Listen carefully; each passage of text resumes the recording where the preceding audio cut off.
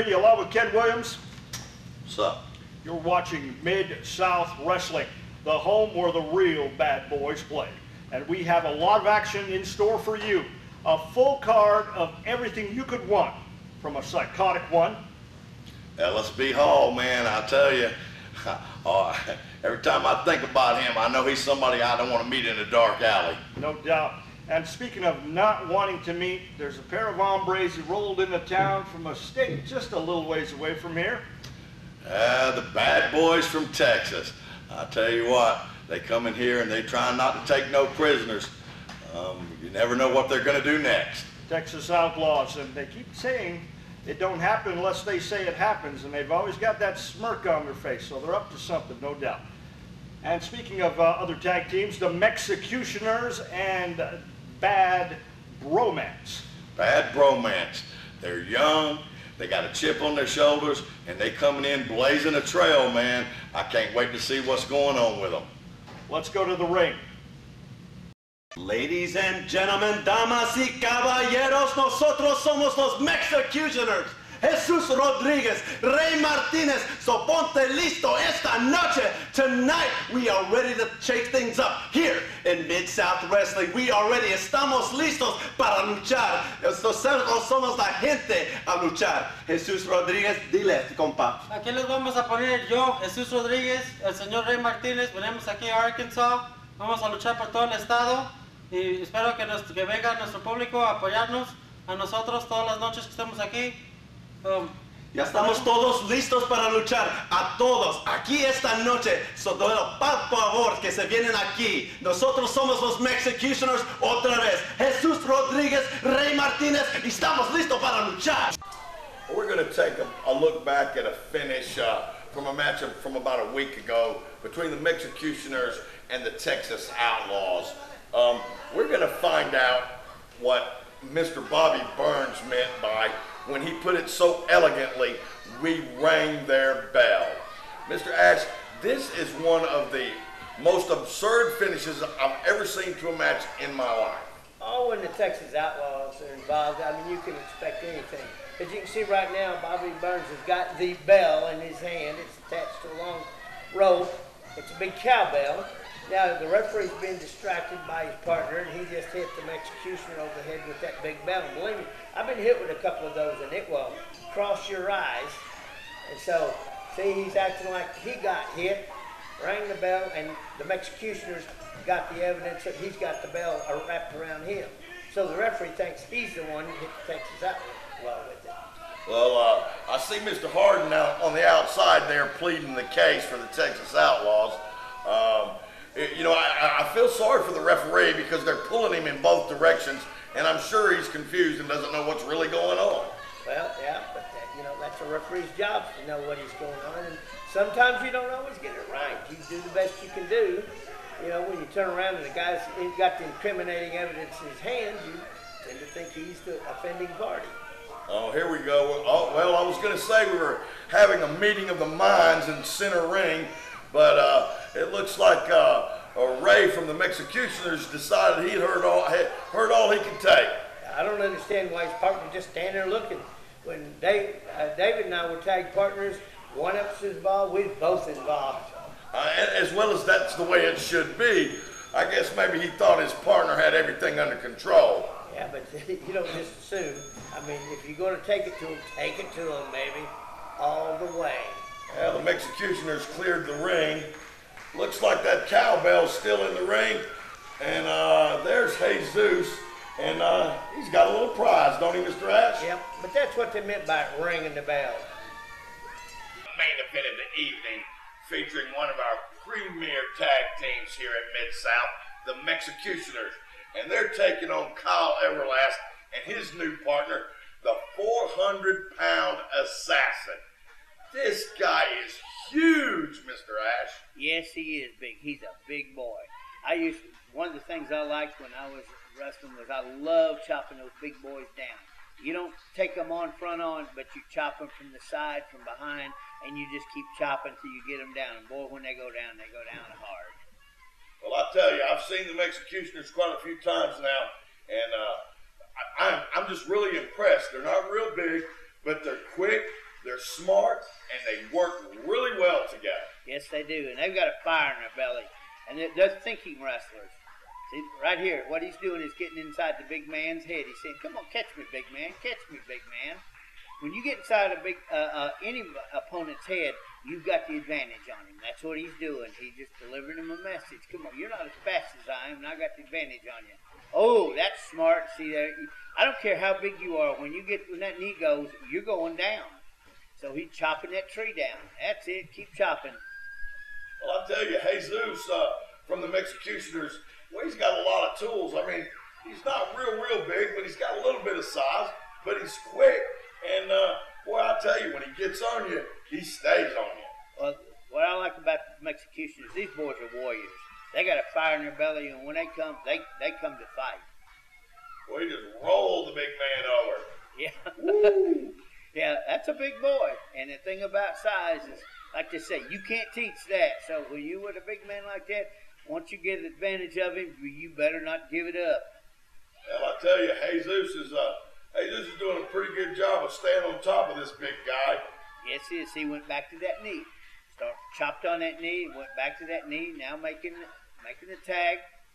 Yeah, what are they doing here? Uh, well, you know, you got to watch. They don't want to get ta- uh, counted out. Little tag little, team. Little double team action there. Mm-hmm. Ray trying for the pin. Don't think they got this big guy worn down quite enough just yet, though. No, uh, they, they, they got to pound on this boy a while longer. He, he's even if he's not the, the most agile guy in the world, he's still big. Oh, right into a bear hug. Oh, Ray fought out of it though. Boys, are, these boys are warriors. They, they come to fight. That's a big old boy. He's in there. Well, uh, well, you know what? I, I know since coming to Mid South, uh, the uh, the executioners and the outlaws have uh, have hooked horns on more than one occasion, and uh, I, you know what? Oh man, that that's a that's a nasty, nasty thing brewing there. Oh, I can't wait to see them when they really hook up for a good one, because that's gonna be something. That that'll be a, a fight. I'm looking forward to it, and it will happen. You can see it's coming. Well, Ray, oh well, he's trying to get back on top of the big guy. Yeah, like I said, size you can't teach size, and it's a definite advantage. What a move from the big man! Yep. Yep. There he come in, made the save on his save his partner. That's what you do in tag team action. You work together. You work together. I think the big boy, even though it, you know that pounding is taking a, has uh, taken a toll on him, he's feeling he's starting to get out of breath. That's why he got his partner in there. Well, he's been in there for a while, and uh, Mr. Everlast is getting to see his first action of the night, and uh, I'm sure he's a lot fresher than Ray. Well, yes. Yeah, that that's a secret to tag team action is tag in and out, in and out, in and out. Don't keep a freshman in there all the time. And then when you get the advantage, don't give it up. Oh, nice. Yeah, that that one wasn't very that much. That first one caught him right in the chin. Well, there's a nice little move from Ray. Uh huh. Yeah, but they they haven't worn this guy down enough to make to really pin successfully pin him, especially when that big weight difference. He's still working on him pretty good, though. Yep, still working on him. Nice reverse from Mr. Everlast. yeah, well, it's, it's not. It's never fun to get pinned between that turnbuckle and an on-rushing body. Believe me, that will take it out of you. Especially a body as big as Kyle Everlast is carrying around. Yeah, but like I said, the executioners are warriors. He's not going to give up. He keeps fighting back, keeps finding a way. Those, those little punches, it just it's over a period of time they wear you down. Now that'll take it out of you. Nice little neck breaker from the executioner. Yep. Just keep on him, keep on him, keep on him. It's a war of attrition. Oh, very nice. That was the Oklahoma Stampede. This might be it. No, not enough. He's, they got to work on him a little more.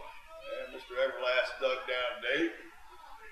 Managed to kick out. Oh, ooh, I, thought he was gonna get caught in that in that corner there for a minute. Yeah, he was just in time. But see, he's making a mistake. He shouldn't.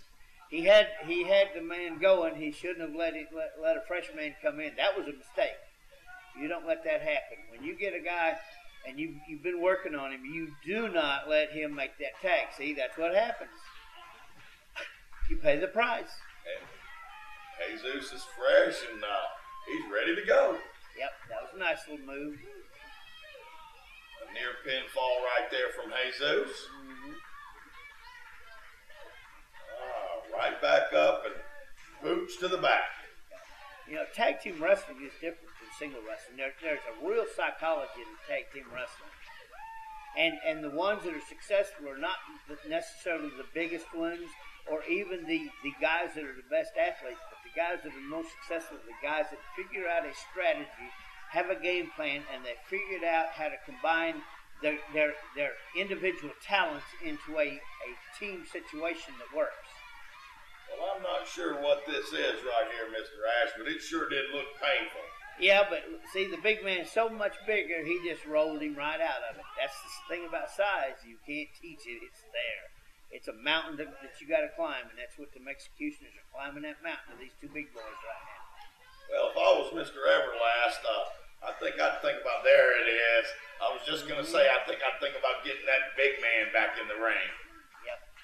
These guys are going to get counted out if they keep that. Ah, now see, that was smarter than the Executioner. He dropped, let, it, let the big man take his own partner out. I can't believe the big man got up that high for a uh, a, a kick. He did. He he did get serious, some serious heights for that 400 pounds in the air. And he obviously did some damage because that was good for the one, two, three. Took his own partner out. And oh, and Ray just threw him out like the garbage. Well, hello, all of you morons again. You know, I could sit here and I could rant, I could rave, I could tell you about how good we are, how pretty we are, and just how great altogether, and from the great state of Texas. But you know, I'm not going to tell you that because y'all don't need to know that because you already know that. You've seen us, you've watched us. Hey, when you're good, you're good. So I don't have to tell you that we're good. I don't have to tell you that we're great. And you certainly can see we are definitely pretty. So, you know, I just want to say hello and good day to all you folks out there. And uh, uh, what do you want to tell them? I don't know. Well, I'll tell you what. We came through here. we really rang their bell, didn't we? Oh, ding-a-ling. Oh, yeah. There's not a whole lot else to say, but see you soon. Now that is some serious wrestling action, Ken. Man, I tell you, the Executioners, they looked awesome. They're out there, they, they made a statement with this match. And you know what, Bill? This is the first time I've ever seen a tag team use another man's weight to their advantage. No doubt about it, and uh, that's going to build up some bad blood between these two teams, and they are going to be serious, serious brawling after this, no doubt. Thank you for joining us here at Mid South Wrestling. Next week, same station, same time. For Ken Williams, I'm Bill Henry Reedy. Good night.